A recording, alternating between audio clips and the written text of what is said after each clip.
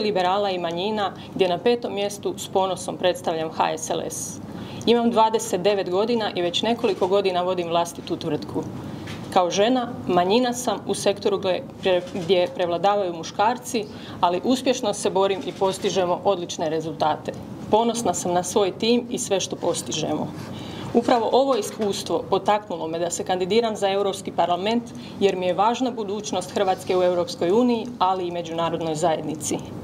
Predavno mi je još mnogo godina rada i nije mi svejedno kako ćemo se pozicionirati i kako će naše gospodarstvo izgledati za 5, 10 ili 15 godina, a posebno u kontekstu globalne konkurencije.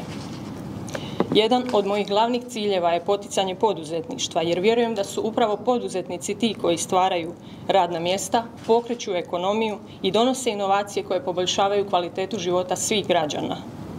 Zagovarat ću politike koje olakšavaju poslovanje, smanjuju birokraciju i omogućuju lakši pristup financiranju, a posebno za mlade poduzetnike i start-upove.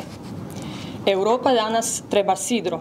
To smo sidro mi liberali, koji se borimo za očuvanje prostora slobode za sve građane.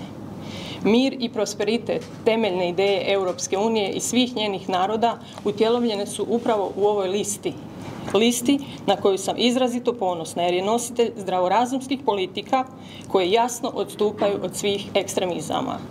Ekstremne ideologije, bilo lijeve ili desne, samo produbljuju postojeće društvene podjele i stvaraju nestabilnost.